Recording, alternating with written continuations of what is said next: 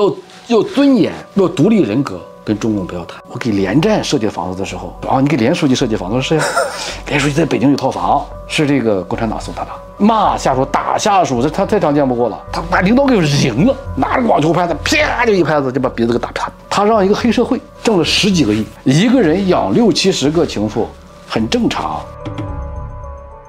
Hello，大家好，我是八九。旁边这一位啊，也是这次参加我们这个美国国会山庄会议啊认识到的一位，也是前中共的这是那原来中共的内蒙古自治区政府的法律顾问室的执行主任。是。嗯那听说你好像有被这个冤狱入狱是吧？是的，是的。可以稍微跟台湾的网友分享一下吗？呃，是的，我呢叫杜文，曾经是中共内蒙古自治区政府的法律顾问是执行执行主任，先后担任过巴特尔和胡春华的哦胡春华胡春华的法律顾问。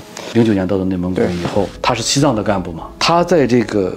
去内蒙古之前的时候，他先去找他的老领导，就是曾经的西藏党委书记，叫陈奎元。这个陈奎元呢是内蒙古自治区当时的主席巴特尔，就现在全国政协的副主席、中央统战部的副部长那个巴特尔的那个父亲啊，吉尔格勒提拔起来的。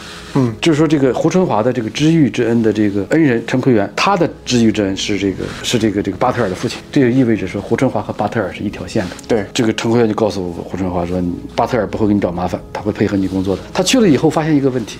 巴特尔在东蒙东部蒙古，内蒙古呢，它一一直以来就是说东西蒙古争争斗非常的厉害。对，当年内蒙古自治区一九四七年建立的时候，巴特尔的父亲吉尔格勒是作为东蒙古的代表被排除了，就被排除的排挤的很厉害，只做了最多做了一个自治区的副主席，是做的做的级别不高。他但他是内蒙古人的领袖呀，就受到了一些不公正的待遇。嗯，但是相比之下，乌兰夫家族就做了，你看乌兰夫做了二十年，他的妹夫孔飞，嗯，之后是呃他的这个儿子布赫，他的侄子云布隆，之后你看他的孙女，嗯，他们一家人在内蒙古自治区做了超过四十年，将近五十年的，可以说世袭罔替的王爷。对，整个全中国独此一份。之后呢，这个这个巴特尔上来以后呢，他就是是东部蒙古的代表，而这个云家呢，就是乌兰夫家族呢，他是西部蒙古的代表。嗯，这个期间呢，他就想通过一个个案，乌兰夫的这个二儿子乌克利，嗯，他曾经就是以无偿一分钱没花的方式，从内蒙政府这儿拿走了五个亿的国有资产。嗯，就是当时价值五个亿。嗯，就是拿的时候没这么贵啊，就是九七零七年我们办的时候，办这案子的时候是经财政部评估案值不大，呃，但是这个事儿呢很严重，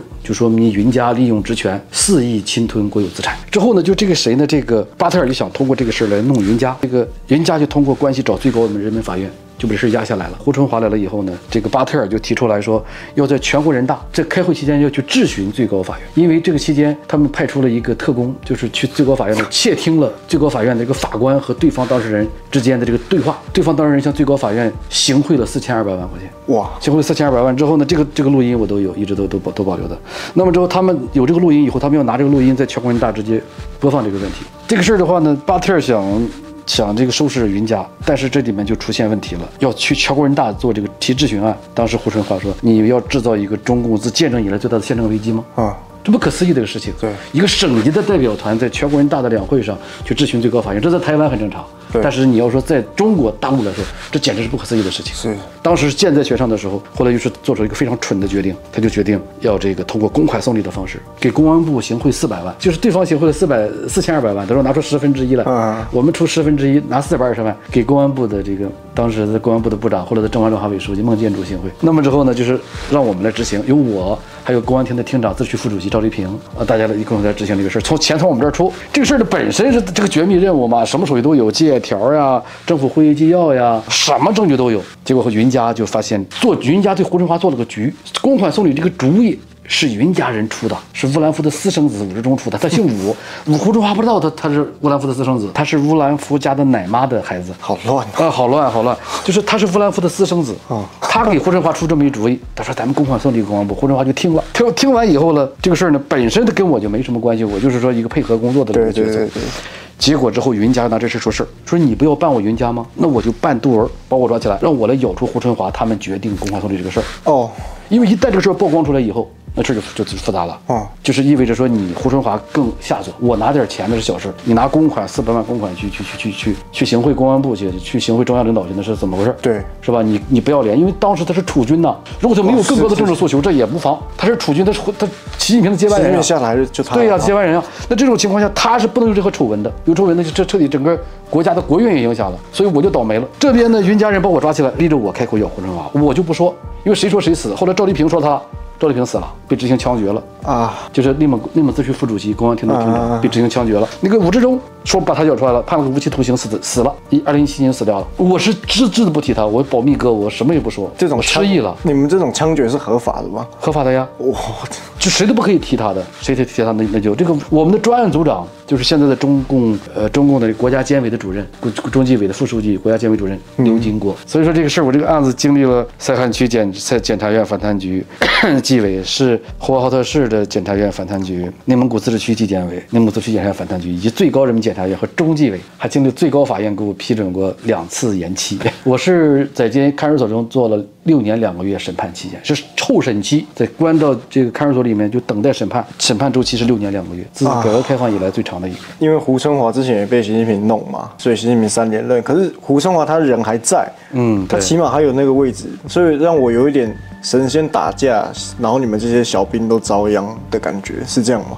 这个权力斗争啊，是个博弈的过程。是，就是说，任何一个人他都有他的，就是找他的点。那这个时候的话，就是说突，只要把我这突破了，霍春华就有个丑闻在他们云家手里，他就能够把霍春华拿捏住。嗯，这样他就能够取得东西蒙古斗争的平衡。这两天在饭局上也听你分享很多这个你以前当官的一些趣事啊，嗯不知道可不可以分享一下？我听起来真的蛮蛮悬 的。呃对啊，对啊，但是从电视上、网络上看到的情况，很多的台湾人对大陆充满幻想。是，嗯，特别对共产党充满了一个幻想，嗯，就被很多假象所迷惑，嗯，我感觉到好像是应该是台湾人不太了解共产党，是，魔鬼的面目啊！在共产党这个体制下，覆巢之下没有完卵，没有人不是受害者，是，叫罄竹难书，对是吧？这是一个古语了，是吧？我举个例子吧，啊好好好，一去监狱的时候啊，墙上贴了一个一张公示栏，说本监狱去年伙食费花了四百三十万。我就问监狱多少人啊？下边写的哈，监狱是两千四百人，两千三百七十人，至少就两千四百人算吧，是吧？四百三十万的伙食费。你我一看四百三万挺多，一看两千两千四百人，那就不高了吧？嗯，对，我就很感慨呀、我说，哎呀，我们一个主席去趟俄罗斯，花了四百七十万，这这两千四百人一年的生活费。中共官员的这个腐败程度，不是台湾人所能想象的。嗯，当时这个大陆人就是广泛讨论说，怎么样解决台湾问题？嗯嗯大陆如何能够把台湾解决掉，和平解决掉，是吧？哈、啊，不用说什么派那个呃什么武警啊，也不用派军队过解放军过去，不用，派三千共产党的官员过去去台湾，公款吃喝一项，台湾就吃垮了。嗯。哦，对你刚刚有分享到一个，你你说什么官员正部级以上还是什么部级以上去哪里住宿，然后家具全部都重新订，很正？常呀，很正常呀。住个几天你要对啊，住三四天呀，意义在哪里？不能用饭店的吗？富贵尊荣啊。领导的睡眠有些轻，照顾到领导的这个这不有点古代皇帝是？对，你看，我就就举就咱就举个例子吧，就举就当时这咱们那个那个中中国大陆的这个电力集团的这个董事长，中国电投的那个董事长嘛，高山去开会的时候呢，就是整个酒店的大约是开三天的会，酒店的家具、沙发、桌子、床、床垫、枕头都是专量身定制的。量身。家具定量身，就因为他他说颈说他脊脊柱有病，就量身定制。他问题在这个酒店的沙发上能坐多久？这很正常。他理当时有个理由，说当年李鸿章 跟日本人签马关条约的时候，嗯日本人伊藤博文就给李鸿章定做了。定做了全套家具，说日本家具李鸿章用的用的不习惯，给李鸿章量身定制了这个这个这个什么这一一套一套家具。说李鸿章都有这待遇，为什么我中共的官员就不能有这待遇呢？啊，所以说这个家具这东西啊，不在乎什么木木材啊，也不在乎什么材质，也不在乎什么品牌，在乎是不是定制，你们刚刚还有说什么去机场一出来花什么几十万什么？很正常，很正常，很正常。你就是你比如说那个曾经就是嗯，这去的不是咱不提谁了，是吧？啊啊哈，他呢这个来欧洲来访问，领导们去来欧洲就是出国访问呀，都带一个国企的负责人，这是第一次在公开媒体面前披露啊，讲讲这个故事，是给台湾人给台湾的朋友们讲一讲，就是中共的官员们是如何生活的。好，啊，一个一个省部级领导。那么之后呢，这个当时我们这个在机场走的时候，走贵宾通道，走那个国门楼，就是去过北京的同朋友们都知道，就是除了一号、二号、三号航站楼以外，还有一个国门楼，上面有一个国徽，外国元首政要哦进出北京的时候走的那个楼。这个楼呢，它就不用走机场中间的那个。那个坐火车呀，那些对于国际中转区嘛，不走那个区了，而是说他就是直接在这个国门楼就能够在这儿休息，是坐在这个贵宾厅里面喝杯咖啡，闲聊一会儿。十个人，最后一结账呢，我就问那个一块儿这个国企这个老总嘛，我们当时包里的那个老总叫卢林，嗯，中我们内蒙党委委员啊，卢总，问他我说卢总你带多少钱？钱够吗？是吧？你十个人，你想一百五十，咱报旅游团那会儿，欧洲十五日游不才，都没这么多啊一个人才一万块钱吗？那十个人不才十五万吗？我这十个人带了一百五十万，我是普通游客的十倍，咋的了？不够了是吧？来了欧洲第三天就打电话给财务总监说，赶紧再给我存三百万，花完了。哦，这都是公款。对啊，公款啊，哇，这这这还不是说多么高档，还有更夸张。还是很那个啥，不是说出来说吃喝拉撒睡住，就你购物，领导前面看这个杯子挺好，拿上了，拿着走了，后面人负责买单。哦中共的规矩啊，它是这个逻辑跟就是跟台湾是完全不一样。就是 说解放台湾最简单的办法，那就是把共产党员们派过去嘛，去去对吧？公款吃喝这一项就够了。确实确实对吧？你像你台湾那点钱，那点纳税人的钱，你放咱习主席手上，你一个非洲大傻逼全没了。啊，确实对吧？哈，所以这个这个类似的这种故事可以说非常的多，非常多。你看一晚上住几十万的，这很正常。官员们的这个情妇是不以数量为衡量标准，那那是以什么？以质量，哦，所以还是有很多的。以质量。而且这回谁不拿这些玩意儿说事？哦，就是因为你我个人，这是我个人对官场的可能大家观点不太一样。啊、举个例子吧，就是领导们、中共官员们有小三儿很正常。嗯，你看，我知道有些省部级领导有那么几个的情妇，不多，有那么几个能数出来十个左右，是吧？你就听挺多了吧？但我们一个厅局级干部，我们去去监狱以后遇到那玉小平，三百多个情妇，三百多个，我还有一百多个没交代呢，这很正常嘛。一个人养六七十个情妇，很正常。那就你刚刚提到的，台湾人，尤其是年轻人，对中共是非常的不了解，甚至充满了幻想。你有什么建议，或者是说，呃，你有什么破解这种的方式？其他更多的内幕可以跟我们分享吗？我个人的感觉，其实首先来说，对台湾的年轻人，我认为台湾人应该珍惜来之不易的自由。嗯，那么现在的问题，台湾之所以就是说一些青年们是吧，一些一些年轻人，甚至一些有些老人，他们对中共抱有很大的幻想，对，是因为不是说这些人笨，这些人傻，嗯，是中共的骗术太高明了。他们就对内，就是即使很多生活在中共国内的这些人，就生活在牢笼之中的人，他都会对他充满大唱赞歌、感恩戴德。就你一边扇他嘴耳光，一边打他，他一边管你叫爸爸。就是这这这人就被虐待久了之后，就产生一种变态的这种非正常的一种一种一种心态。嗯他对台湾主要是骗和吓，嗯，恐吓和欺骗。那么，如果台湾青年或是社会他不能够团结起来抵制这种东西，不去保卫自己的自由的话，那么就对于台湾未来来说，可能的就是很其无比的黑暗。你就很简单的道理，比如说你台湾人去去大陆，不是不是很多台湾人可以去大陆，你试试几天，你试一试，你走大街上你试一试，你一一进这个这个海关开始，人的眼神到互联网，你想上 YouTube 上不了了吧？想看推特看不了了吧？嗯，是吧？哈，那么之后接下来你要遭遇的任何事情之后，你就发现整个社会是高度不公平的。嗯，人和人之间是非常弱肉强食的，四处都充满着欺骗、诈骗的这种情况是非常的普遍。面对谎言，只有一个办法，就是用真实、用事实，嗯，去告诉台湾人，对抗假恶丑的唯一方式是真善美，用真诚、用善良、用美，多宣传这些东西，就是说告诉台湾人，大陆是真实的是个什么情况，共产党是个什么玩意儿。是吧？哈，这个是让他们认识到这种，他自然就会有选择。你在台湾，你骂这个你们的赖清德、赖清德、赖清德总统没事儿，嗯，你朝他的画像上泼盆油漆没问题，没问题啊。但是大陆是怎么对待？是把他关到精神病院里，或者判上几年徒刑，或者关到精神病院里面，都折磨成精神病，没有丝毫的什么自由这些可言。现在大陆的人都成什么样了？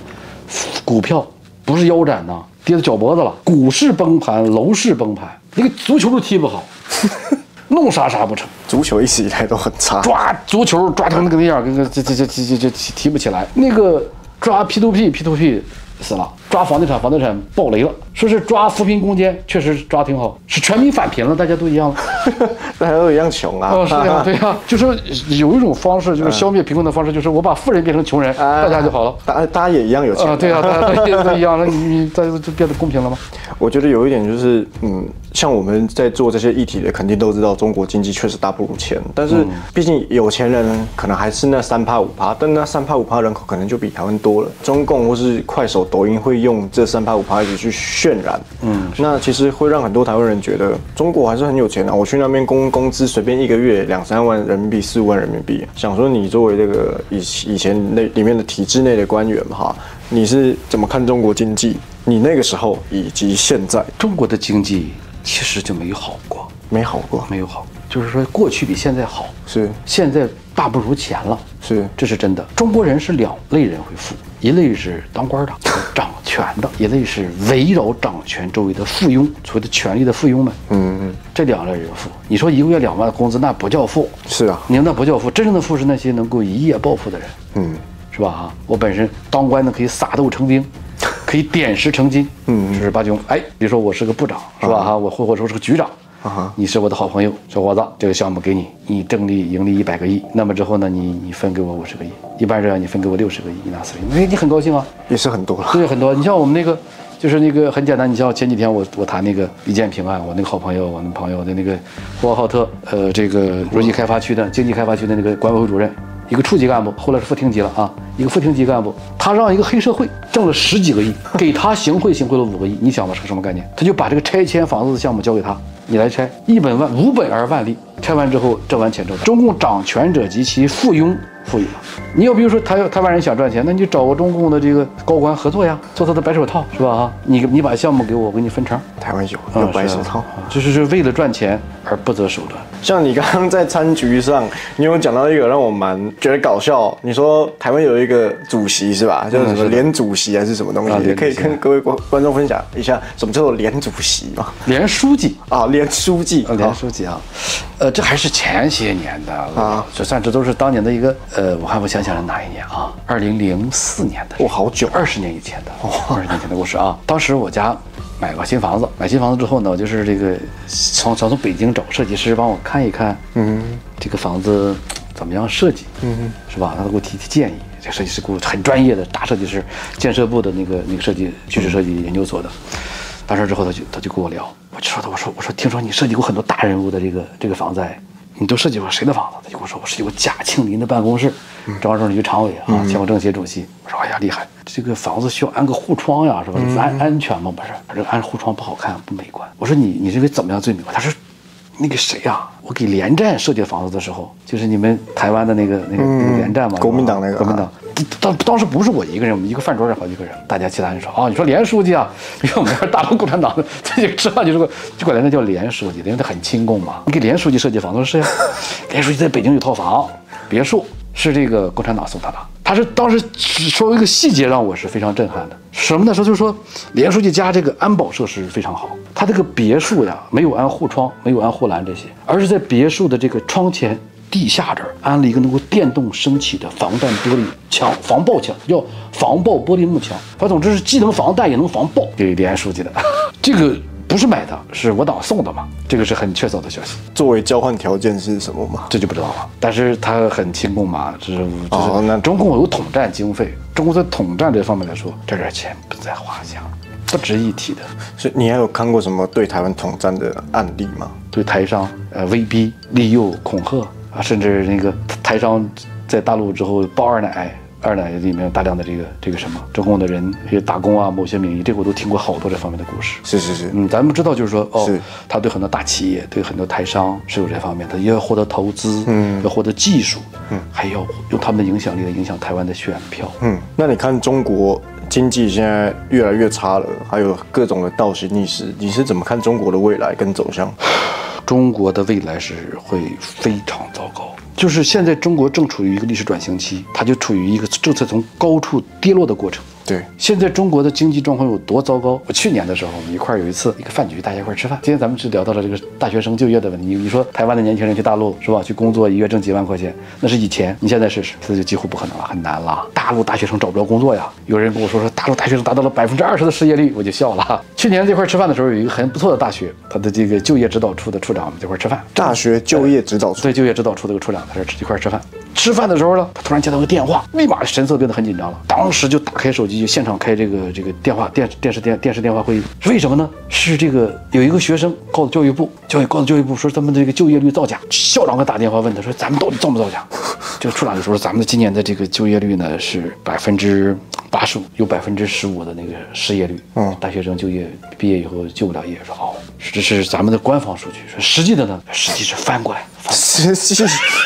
啊，翻过来就是说，这个就业率是百分之十五，我只有百分之八十五的是失业率。那你觉得我们要怎么用这种真善美、真话去戳破它？因为在在你们国内是没有办法这样讲的，但是翻墙的人又不见得这么多。对大陆真正影响的，其实不是政治，不是政论，嗯，是而像你这样的漂亮小伙子、偶像明星一样的这样人物，他们更喜欢台湾的艺人。这些人其实对大陆影响是是很大的。第二就是，我是我有感觉，就是说，其实现在大陆这儿。老百姓基本上都能够认识到共产党有多坏多恶，只是不敢说而已。哦，真的，叫敢怒而不敢言。就是你到头猪放在那儿，他都知道那个那个共产党不好。你很简单，你去中国和蒙古国的边境，中国和俄罗斯的边境，你看那野生动物就在那个俄罗斯或蒙古国那边转悠，绝不踏入中国国境半步。为什么这地方不行？一过来打，往死打的。哦。你在国境那边是安全的，就这个，就这么简单的道理。动物都知道用脚投票都不来，何况是人呢？但是难题就是说，难题在哪？难在。台湾人如何不要产生幻想，能够保持清醒的头脑？清醒头脑靠的不是谎言，给共产党造假是撒谎造假，释放谎言只会损害自己的这个。是，呃，这个公信力，你比如说造一些说一些有有问题的新闻，说大话啊，这些也容易影响自己的公信力。你比如包括很多台湾的电视台以前是很好的，在大陆有很大影响，现在就不行了。为什么？就是因为它很多电视台有有的电视台不能不但不能说一竿子打死一片是吧？那不合适。就是有的电视台其实它就是由于新闻注水，关于大陆的一些报道它是不真实的，就是哪怕有一条，大陆的媒体就会放大，说是台湾的新闻全是假的，实际不是这样的。但要比你新闻联播，比你大陆的媒体那那那都强多了，强它强太多了。随便拿出一个了，都比大陆。真实太多，但是他不是，他不这么说，他有全套的宣传公式告诉你说假的，甚至曲解，对，甚至是曲解你污名化宣传，形成说是你台湾就是一群口无遮拦的人在做新闻。对，但是我我有发现一个点，我也有上过共产党的当，他是这样的哈，他会自己丢假新闻给你，嗯，他会自己去造谣自己，然后养这个新闻养大，然后可能海外的人看见，因为当然我们会等一段时间发酵，但他就是持续让它发酵，对吧？他自己养这个就有点像什么插假旗的概念，嗯，然后等到很多人。开始在讲这件事情的时候，他就反过来说：“哎，你们都造谣，这件事情不是这样子的。”是的，是的，这招还蛮厉害的。是的，你像前段时间关于习近平那个，那么说习近平是政变了，什么太后政变，说是吧？啊，说他什么这个张幼霞军事政变，是吧？各种各样的说法。到时候我就告诉大家。假的，我很明确的说这是假的。就当时传的太邪乎了，我还打电话给过去的一个老朋友，在这个就是这个就那个那个那个中办的一个老朋友，我问了，他就告诉我三个字叫都正常，别的话不能多说，说都正常，就说明啥事儿都没有。但这种新闻到报完之后，当时报的是轰轰烈烈。实际实际到时候最后翻过来之后，他就会说这些海外这些自媒体全是骗子。对啊，打击你最好方式就是把你陷入一个不仁不义之境。对，用用你自己的嘴证明你是个骗子。对，中共在宣传策略这个问题上，那可得真是打起十万个精神来。是，你看，就是说你可以在视频中，把一些中国大陆的那些访民，他们如何城管如何打这些老百姓。对。那这大陆这不人人就是很多人就说，你城管这么厉害，你去把派钓鱼岛去，把那日本修的灯塔给拆了，没人敢去，就对老百姓才狠，对民众才凶。他对内啊是凶残无比，对外呢是软弱。你看他挺凶的，就欺负个菲律宾啊这些还行，你咋他咋不对美国？给收拾收拾呀！不晓得你以前还是说你有没有遇过这样的事情？我我蛮想知道中共的官员是怎么骂骂下属的。对啊，哎呦，那太多了，骂太难听就是脏呀！骂下属、打下属，这他太常见不过了。可以打下属？打呀！我举个例子啊，呃，我就就拿我们那个秘书长来举例子，乌兰巴特的例子，他是个配种站长，就是那个牲畜改良站的站长。对对对，他长得还是蛮帅的，是吧？啊，但没有你帅，但是这个长得还是蛮帅的啊。呃，这么一个，他呢是那会儿我们自治区有个女主席，所以说女主席找个配种站长过来当秘书长，这个问题就是大家知道笑话很多了，是吧？啊，这都是纯属就是算是一个一个坊间的一个笑话。这个秘书长呀脾气不好，有一次呢，有一个这个女干部，她起草一个。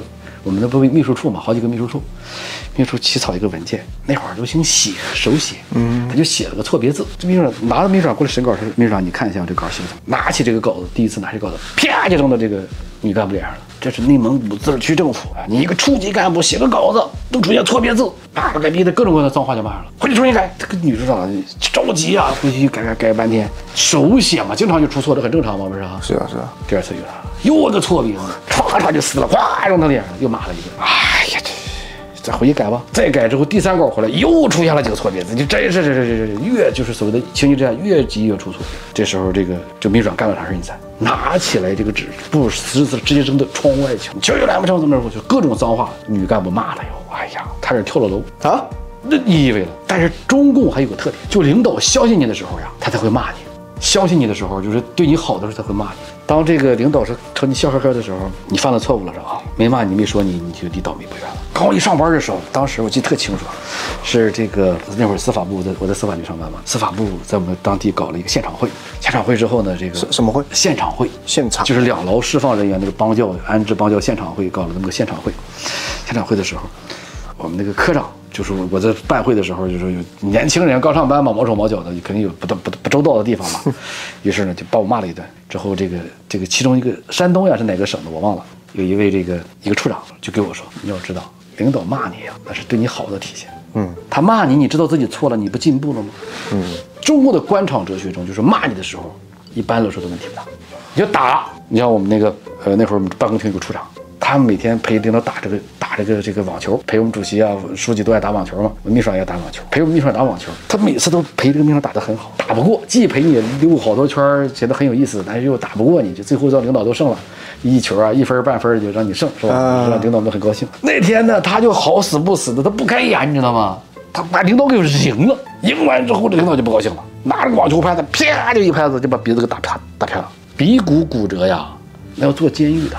挨打的处长不敢说话呀，低头。不不可思议啊，不可思议。后来之后，这这有叫九强上呀，马上提拔为自治区办公厅副主任，政府办公厅副主任，副厅级了。紧接着安排他纪委当副书记，现在已经当自治区副主席了，副省级了。这挨打呀，忍住呀，还是很有好处的。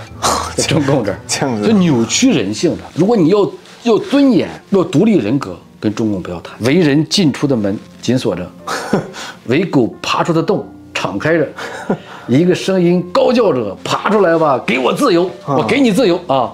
就是这个逻辑。好，这么听起来的话，跟中共这种流氓真的不需要跟他讲道理，也不用跟他谈条件。但是，当然啦，我希望我们台湾的年轻人对中共不要抱有幻想啦。这几天都邀请到两位前中共体制内的啊人士跟大家讲解了。那也是希望这个台湾人多多看这个节目，多多分享这个节目。哎，你也有一个自己的频道是吧？呃，是的，是的。要不要分享一下？我的频道叫内蒙古杜文，呃，内部视角看中国。如果想了解关于霍春华的故事，欢迎大家能够。关注我的频道。